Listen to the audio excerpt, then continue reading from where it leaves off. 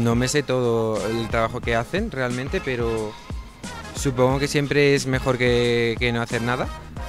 Pues yo estoy más familiarizada con la organización de, del movimiento más de tipo barrial, eh, reconstruir y, y resignificar un poco los espacios que se nos han sido arrebatados. que son duras, pero no tanto como las pone la televisión.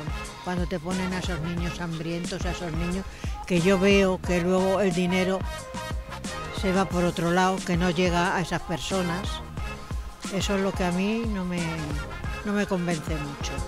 Creo que no están tan inmersas en la organización real de las vidas de las personas. Red Bull te da alas. El Colacao es único.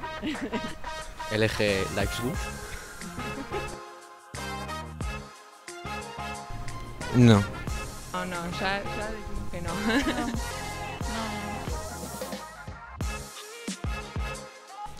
sea, no aparecen tantos anuncios de ONG como aparecen de, de marcas. Y porque personalmente creo que a lo mejor en redes sociales no tienen tanta presencia. A lo mejor en la televisión sí, pero nuestra generación no creo que consuma tanta televisión. no se le da tanta visibilidad, en plan campañas publicitarias, qué sé yo, que no- por ejemplo lo de Nike se suele ver más en, no sé, en una, en una parada de bus. Igual a lo mejor también las ONG los tienen, pero no nos damos cuenta. Pues yo creo que al final uno se mete a Instagram a veces, un poco pues en el tren o pues qué sé, mientras está haciendo nada.